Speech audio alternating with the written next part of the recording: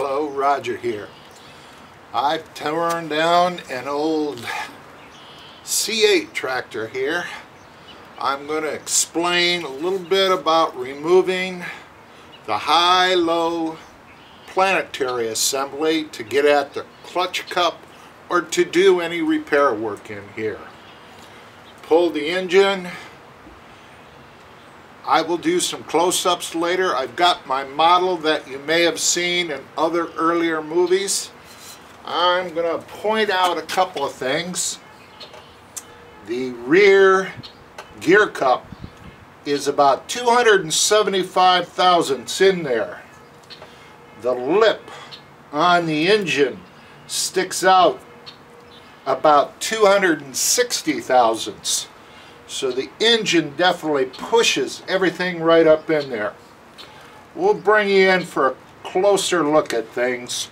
But one thing to be aware of on the early L8Cs, L's and C's is this pin, locator pin, up at 11 o'clock. We'll get a little closer, take another look. Before I pull the rear planetary assembly out, maybe you've seen my other movies. This was my drive, what is the rear pinion shaft on the engine. Well, that'd be the front to most of us, but it fits right here. The clutch cup only moves, I don't know if you can notice the pins moving, it only moves about 40, 50 thousandths between one shift or the other shift. If I move the lever back, that would be shifting into high gear. And I pointed this action out in the model.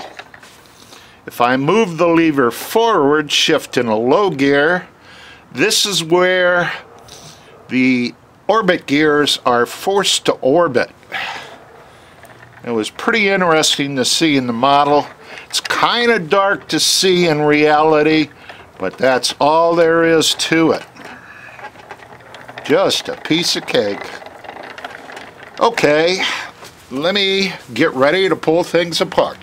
Everyone has their own way of getting to this point, but to get to the high-low assembly, the engine has to be pulled you can still have the wheels on, the handlebars on, whatever else, but you got to get to this area.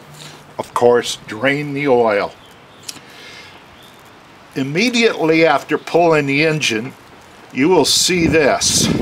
And you might reach in there and try and pull things and nothing seems to move. Well, guess what? Just use the lever. See how it popped out? The rest of the way you have to do a little bit manually.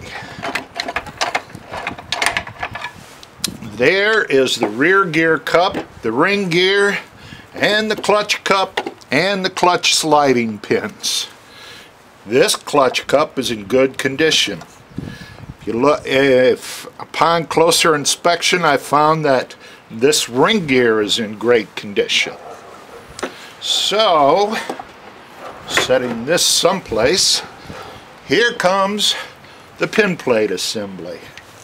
And way in there is the pinion shaft. It mounts inside the sun gear in the pin plate assembly. This one is in good shape. One of the tricks for inspection is trying to tip a gear side to side on its bushing. This one is just a little bit loose. I can replace it. This set of orbit gears has no timing mark on it. You have to understand that there are three places on an orbit gear where the valley of one lines up with the valley of the step down gear directly behind it you can mark any one of them.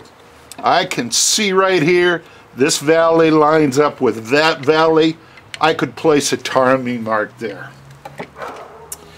This steel ring inside was shimmed sometimes.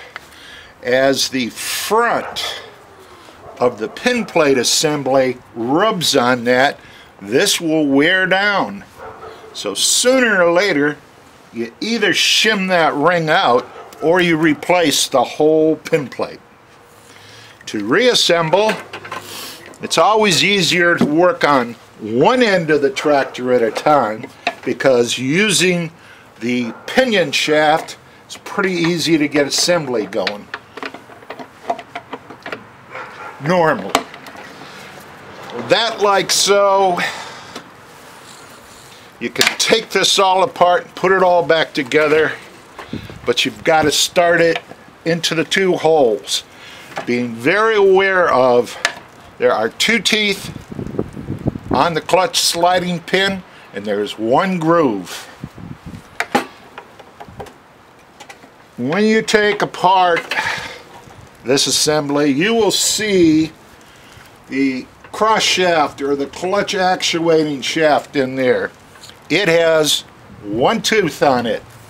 That one tooth must go inside the two teeth. So you kind of get it ready making sure you line the pin, making sure both clutch sliding rods are sticking out a little bit and you play with the planetary assembly until you can pull it into the some keep on moving. You captured it. Bingo. The rest is tapping the rear ring gear holder the rear gear cup into place. Use a wooden block or a soft hammer. It has to go in that 275 thousandths before the motor the ring on the motor will fit in there. And that's the way you get to the high-low planetary assembly